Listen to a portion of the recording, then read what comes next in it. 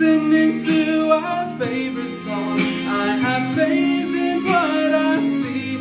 Now I know I have met an angel in person, and she looks perfect. I don't